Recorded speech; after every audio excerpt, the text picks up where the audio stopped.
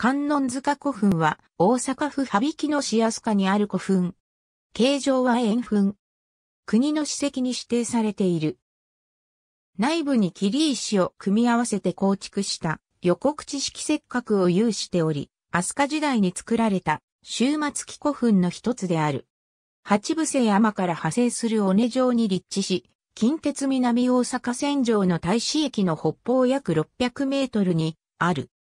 周辺は、飛鳥線塚古墳群をはじめとする群衆墳が営まれ、それらの中に数基の終末期古墳が点在しており、東古墳はその一基である。墳丘の規模、形状は武道園として利用され、森土の一部が失われていたことから明確ではないが、計13メートルの円墳とみられる。埋葬施設は周辺で産出する石英安山岩の切り石を組み合わせた横口式石角で、石角部、前室、沿道で構成されている。石角部は、身と蓋の二国で構成され、天井石の内側を屋根型に成形しており、家型石棺の内側の形状と共通する。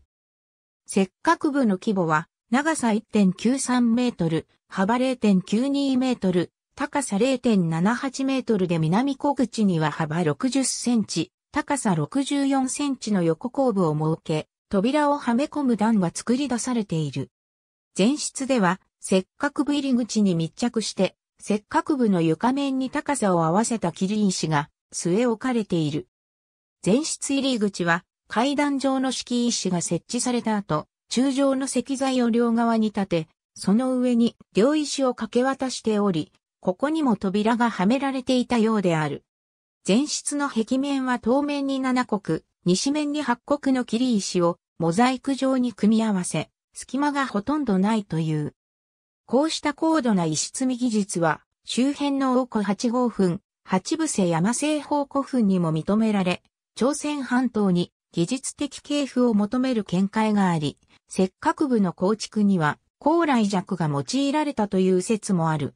埋葬施設は明治以前から開校しており、副葬品については不明である。1981年に国の史跡に指定されている。ありがとうございます。